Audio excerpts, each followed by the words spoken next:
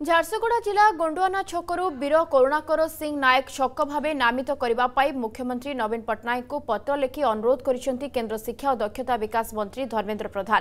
କେନ୍ଦ୍ରମନ୍ତ୍ରୀ ପତ୍ରରେ ଉଲ୍ଲେଖ କରିଛନ୍ତି ଯେ ଓଡ଼ିଶାର ଐତିହାସିକ ସାମାଜିକ ଓ ସାଂସ୍କୃତିକ ବ୍ୟବସ୍ଥାରେ ଜନଜାତି ସମୁଦାୟର ପ୍ରତିନିଧିତ୍ୱ କାହିଁ କେଉଁ କାଳରୁ ରହିଆସିଛି?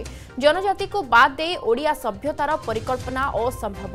ଜଗତର ନାଥ ଶ୍ରୀ ଜଗନ୍ନାଥଙ୍କର ଜନଜାତୀୟ ମୂଳକୁ ମନେ ପକାଇ ଓଡ଼ିଆ ଜାତି ସବୁବେଳେ ଗର୍ବ କରି ଆସିଛି ଏ କାରଣରୁ ହିଁ ଓଡ଼ିଶାର ଶାସକ ଶ୍ରେଣୀ କାଳେ କାଳେ ଜନଜାତି ଭାଇ ଭଉଣୀମାନଙ୍କୁ ଆପଣା ପ୍ରଜାଠାରୁ ବି ଅଧିକ ବୋଲି ମଣି ଆସିଛନ୍ତି।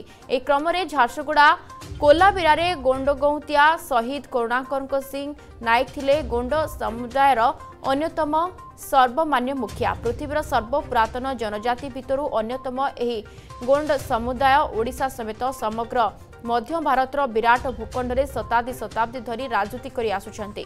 ରାଣୀ ଦୁର୍ଗାବତୀ ଭଗବାନ ବିର୍ସା ମୁଣ୍ଡା ଶହୀଦ ମାଧୋ ସିଂ ବୀର ସୁରେନ୍ଦ୍ର ସାଏ ପ୍ରମୁଖଙ୍କ ନେତୃତ୍ୱରେ ବୀରଗାଥା ଗୋଣ୍ଡ ଜନଜାତି ତଥା ସମସ୍ତ ଭାରତୀୟଙ୍କୁ ଗର୍ବ କରିବାକୁ ବାଧ୍ୟ କରେ। ଗଣ୍ଡୁଆରା ଛକରୁ ବିପ୍ଳବୀ ବୀର ତଥା ଶହୀଦ କରୁଣାକର ସିଂ ନାୟକଙ୍କ ନାଁରେ ନାମିତ କରାଗଲେ। ଏହି ମହାନାୟକଙ୍କ ପ୍ରତି ପ୍ରକୃତ ଶ୍ରଦ୍ଧାଞ୍ଜଳି ହେବ। ଝାରସୁଗୁଡ଼ାବାସୀ ଏବଂ ଗୋଣ୍ଡ ସମାଜ ପ୍ରତି ଉପଯୁକ୍ତ ସମ୍ମାନ ମିଳିବ।